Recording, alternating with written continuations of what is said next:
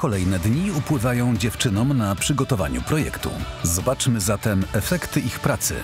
Tuż przy wyjściu do ogrodu pojawi się duży taras, na którym powstanie strefa wypoczynkowa dla całej rodziny. Będą wygodne kanapy oraz stolik kawowy. Ale zanim wrócimy na budowę, to najpierw odwiedzimy skład kostki brukowej. Dzisiaj przyjechałyśmy dobrać materiały na nawierzchnię do ogrodu Marty i Kuby. A ogródek jest niewielki, więc większość nawierzchni będą stanowiły właśnie płyty, które byśmy chciały wybrać, bo my już wiemy jakie. Dzień dobry Wojciech. Cześć Ty dziewczyny. wiesz dokąd my już idziemy? Znaczy widzisz. O, widzę, że zainteresowały Was nasze nowości. Tak, bo te płyty już po raz kolejny y, je zastosujemy. One idealnie wpasowują się w nasz projekt. I wyglądają bardzo luksusowo. E, Zgadzam się z Wami. To są płyty ceramiczne, idealne w utrzymaniu w czystości. Nie potrzeba ich pre- impregnować. E, Dzięki swojej grubości 2 cm możemy je zabudować zarówno w standardowy sposób jak kostkę oraz na tarasach wentylowanych na podstawkach. My będziemy tutaj rzucać normalnie metodą brukarską. Bardzo dobre rozwiązanie.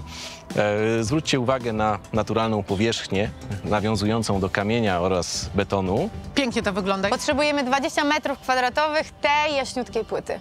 Okej, w takim razie zapraszam do biura, zrobimy zamówienie. Super.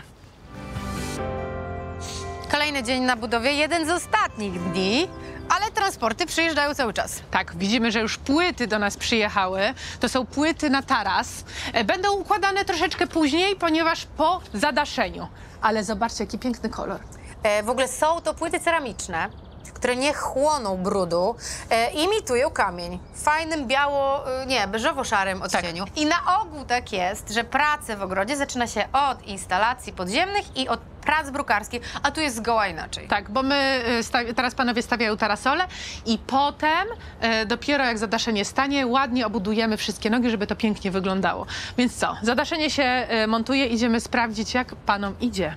Dziewczyny zrobiły swoje, dlatego ekipa może w końcu zabrać się za wykańczanie ogródka. Chłopcy układają płyty ceramiczne na tarasie. Muszę przyznać, że w końcu zaczyna to wszystko nabierać kształtu. Witamy Was serdecznie w nowym ogrodzie Marty i Kuby. Wchodzimy już z tego dywanu kamiennego na płyty ceramiczne, czyli te płyty, które imitują beton i co najważniejsze, nie trzeba ich impregnować. Płyty i dywan kamienny i przedzielone one są taką prowadnicą. No to chodźcie, Zapraszamy.